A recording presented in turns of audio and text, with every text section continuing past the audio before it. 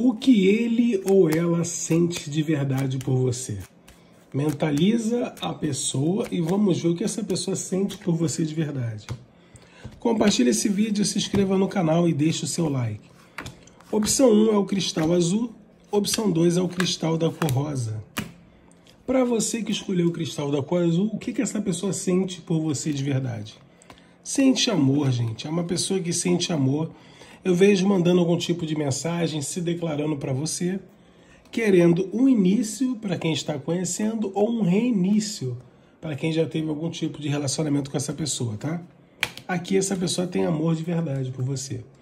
Opção 2, o cristal rosa, o que essa pessoa sente de verdade por você. Bom, infelizmente essa pessoa aqui não sente mais nada por você. Essa pessoa acredita que essa história já acabou, que não vale mais a pena investir, tá bom? Eu vejo aqui situação de muito risco, muita dificuldade para vocês ficarem juntos.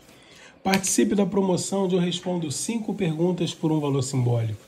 Nosso WhatsApp é o 2198 655 6776.